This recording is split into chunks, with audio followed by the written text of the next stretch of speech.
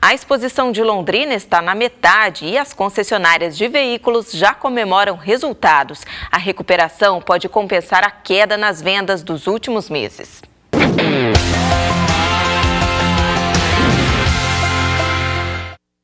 A exposição de Londrina é o lugar ideal para se fazer negócios, principalmente para o produtor rural.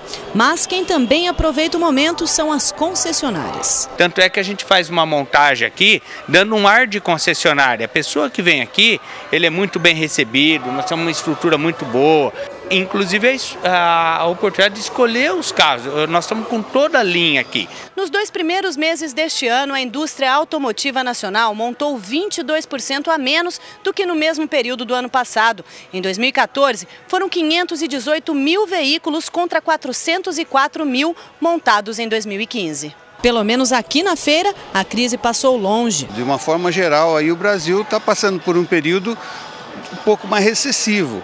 Então essas condições e nós com a sorte de termos a Expo Londrina, isso daí ajuda a manter o nível de venda, o nível de penetração de mercado aí que a gente tem conseguido. São bônus, descontos, parcelamentos, prazos e alguns carros que foram montados especialmente para a ocasião, como este C3, que custa em média 47 mil reais e aqui sai por 44 mil. Algumas caminhonetes estão com desconto de até 20 mil reais. 15 modelos como esta aqui já foram comercializados. E além disso, toda a linha quase com juro zero.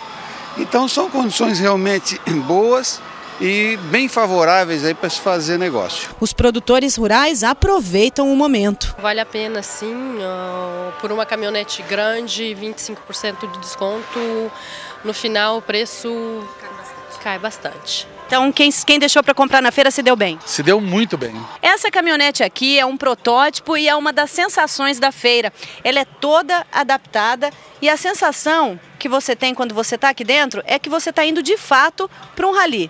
Mas nem adianta se animar muito, porque ela não está à venda. Bonita, ajeitada, hein? Pena que não está para vender.